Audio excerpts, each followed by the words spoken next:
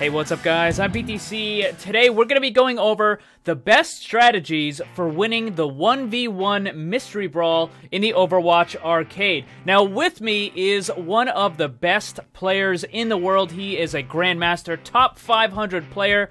He has won over 200 1v1 games and is currently undefeated. Let's welcome Skill. Hey, what's up, guys? How's it going?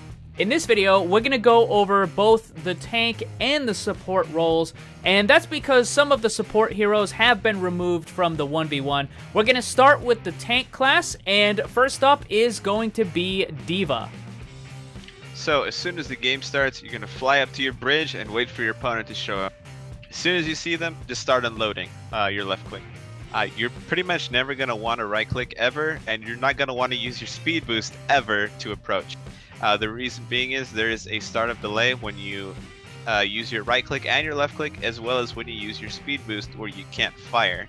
Um, like with uh, the Reaper and the McCree situation, you can't heal, so any damage you do is permanent for the whole game. So even at a distance, just start unloading. There's no reason not to hold down your left click. Um, as soon as your opponent gets launched out, or as soon as you get launched out of your mech, the game changes slightly. You're going to want to try to catch up to them as much as possible, and your aiming ability really comes into play here. It's possible that the Mini D.Va gets away from you at like 10% HP, and she gets her mech back. If at this point this happens, you immediately lose. Um, so you want to keep track of the mini D.Va. you want to be on her 100% of the time, or there's a possibility you could lose.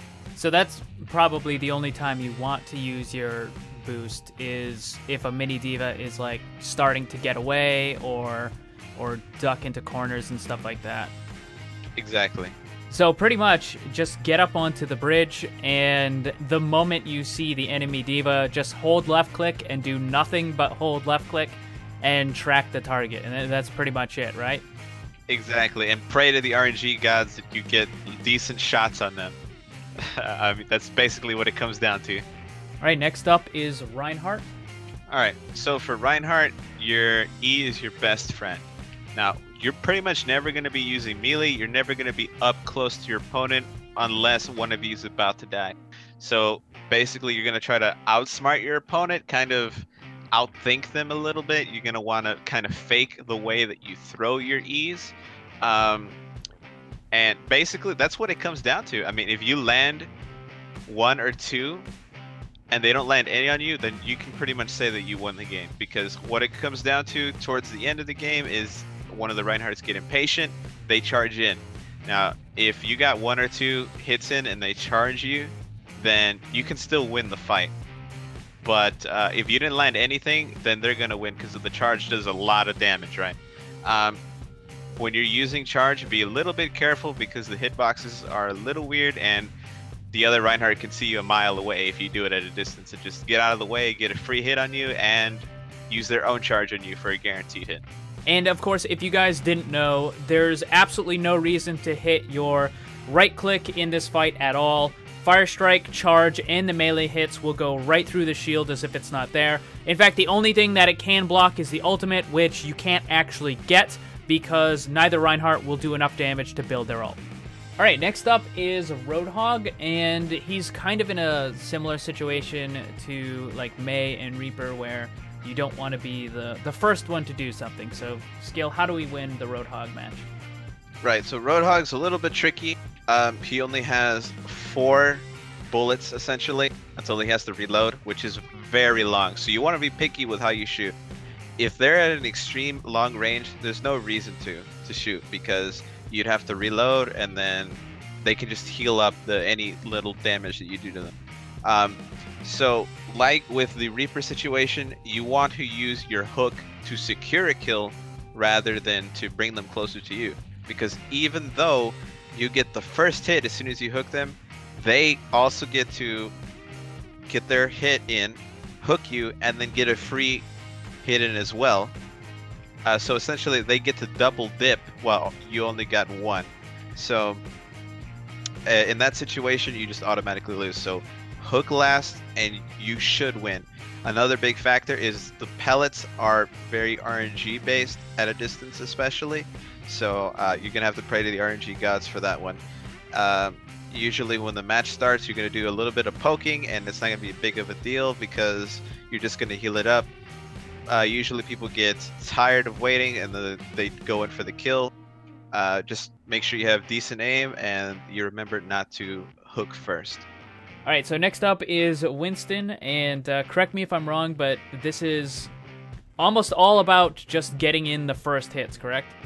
Yeah, so you want to get in that first hit. If you do, then you will probably, probably win the fight. Now, before you actually queue for 1v1s, go into your controls, go to Winston, and set his sensitivity pretty high.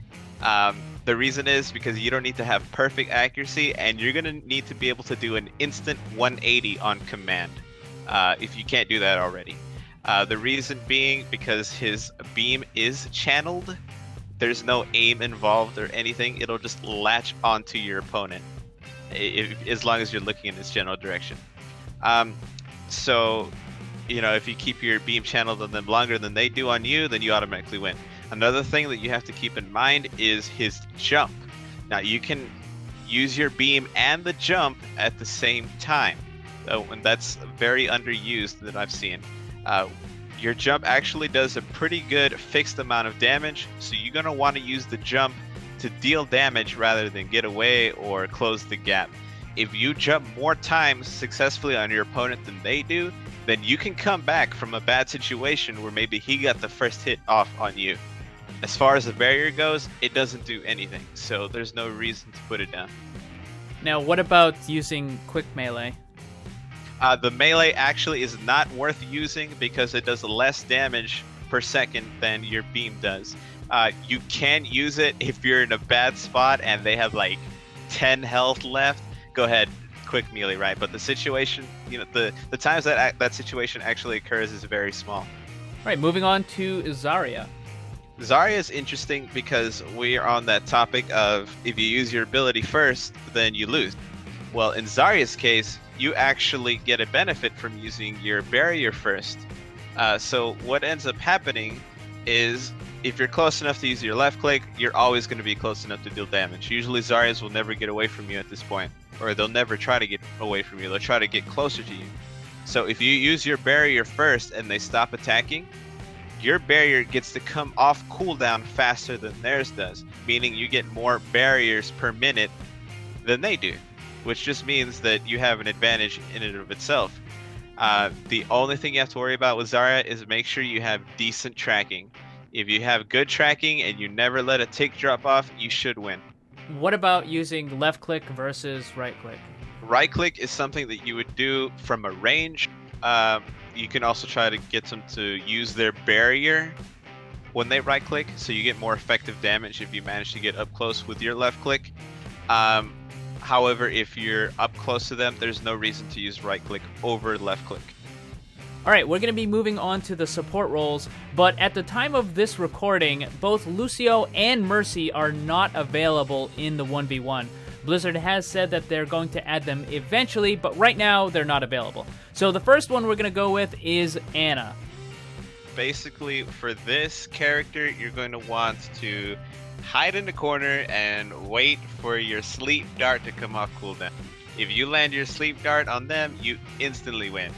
Um, you can try to take the, the aim battle, uh, but there's nothing stopping them from waiting it out and just healing themselves.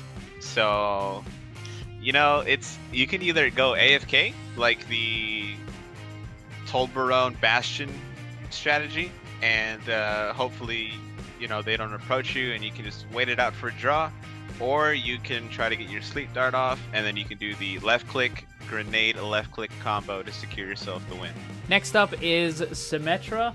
This is uh, probably one of the more fun 1v1s. So, how does this one usually go? Oh, this is a oh, this is so fun. This character is so fun to play. All right, so what you actually do is you go into your base, you sit in the corner, and you put turrets up, and you wait. That's that's how you win. that's how you win a Symmetra. Because if you approach, you just I mean they're gonna do the same thing, right? So There's no reason to. Every now and then you get an actual person who's like, I, I, I don't like Symmetra, and they'll actually not use turrets and they'll approach you. In that situation, if you land your left click first, you win. Now, don't use your left click when you think you're in range. Use it slightly before you think you're in range, uh, because the thing will latch on further than it actually looks. So you can get that extra tick in if they're not doing the same thing. Um, otherwise, uh, you know, that's a wasted minute of your time. just just sit just sit in your spawn room or in a hallway or somewhere and uh, and just it just it just wait for it to, to end in a draw. Exactly. Just make sure that you don't get kicked for inactivity. And the very last character is Zenyatta. For Zenyatta, uh, if you get the jump on your opponent, you can throw your Discord orb on them, and if you are quick enough, you can hide behind a corner so they can't throw theirs on you.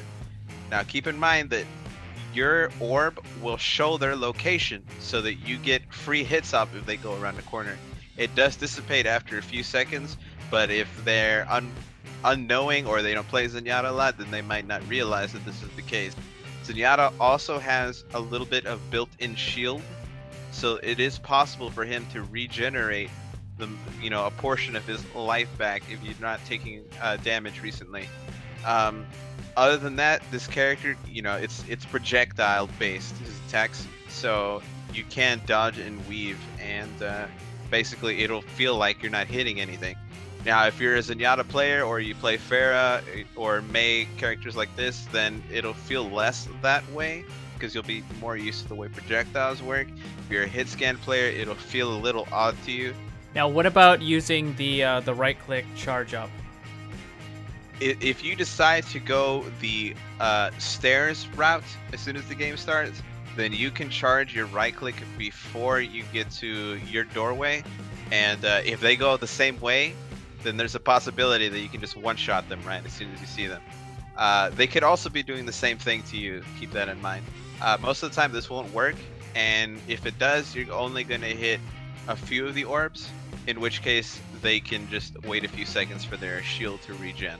Now, because you have the shields and they can regen, not only for you, but also for your enemy, since they're also playing the same character, are you going to try to engage them up close, or are you going to try to keep a, a more long range distance and just hope to get like a couple le- lucky headshots with a Discord?